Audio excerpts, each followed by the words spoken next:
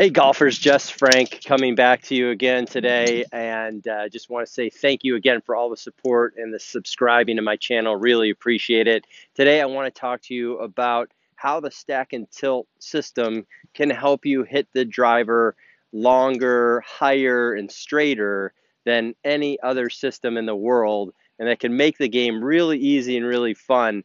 And something that I found when I started to to uh, change over to the stack and tilt system, what happened was that I just started, I gained probably 30, 40 yards on my driver, and it was the e- easiest or much easier swing than what I was doing previously. And it also, amazingly enough, it stopped hurting my back. So the other swing I was using, my lower back, I was always in pain after I played.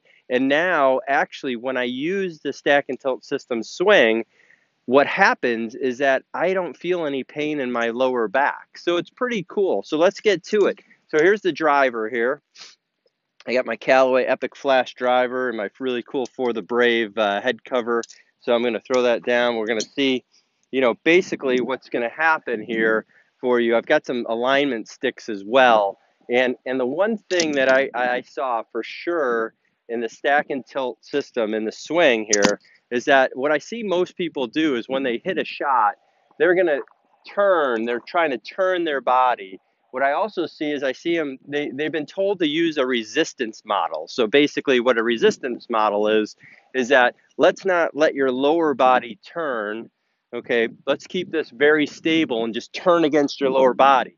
So what happened was my by doing that, by no turn of my lower body and my hips, what happened was that my arm swing started to get really short. My left arm started to bend. The club started to pull into me. And so I would just start to, so the only way for me to get power would be to shift over to my right side here. And then I'd hit, I'd hit behind it. It was just some like weirdly weird shots. So when I switched over to stack and tilt, what happened was is I started to let my knees change flex. So down the line here, as I tilt back, left knee bends, right knee straightens. What does that do? That allows my hips to turn back, okay? So if I keep them flexed, I my hips don't turn. You can see this pocket right here, okay? So watch this here. If I keep my knees flexed, okay? And then I swing back and I don't turn you can still see my pocket. Now watch this. See how my pocket went back and behind me here. So my hips have turned, my right leg is straightened, and then I'm able to make the club go up and around my body without it without me turning down in flexion here.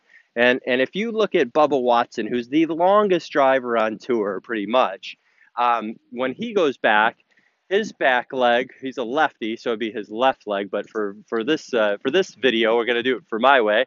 He straightens his leg the most. So he straightens his leg the most and you never hear of bubba watson being injured because he's not using the resistance model. So this is super super important. So hitting the driver and gaining distance basically what happens is that people always say oh well you're hitting you're hitting down too much with the driver. Mm-hmm. Well, I find mm-hmm. that completely false because, in fact, a lot of the really good drivers of the golf ball, they do have downward hit with their driver. Now, they're not coming in super steep, they're coming in shallow with the club swinging around their body. And, and it's shallowing out, but it's still on the way down. And so, what I was always trying to do is I was told to hit up on the ball. So, I was always like, okay, keep the right knee in flexion, turn back here, swing up on it. And so there was no compression. There was nothing. It was a very weak shot. So hitting the driver in the stack and tilt system is very similar to, to everything else you're doing. So you're going like this here. So I'm extending, tilting, and turning my body. My hips turn.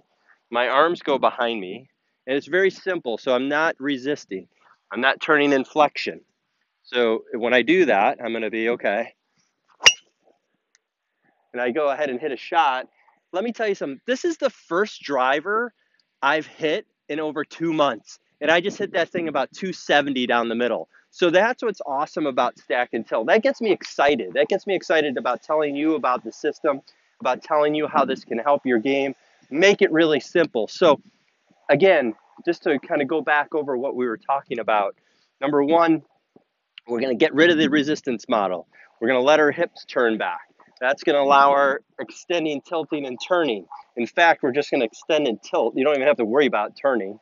So extending and tilting from here, and then back through the ball. So that's what I truly love about the system. That can help you immediately get back. I haven't, like I said, I haven't hit a driver in over two months since the whole, you know, Corona the thing happened. So that's this is the first driver I hit. I ripped it down the middle. It's awesome.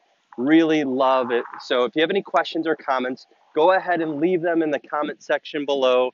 Please like and share. Um, every every comment, every sub, every time somebody subscribes, it helps grow my channel. So I really appreciate. It. I can keep bringing you quality content. I'm really enjoying the interaction between uh, myself and, and and you guys out there in uh, in the YouTube world. Uh, so thanks again for participating, and uh, I'll keep the videos coming. So have a great day, and we'll see you soon.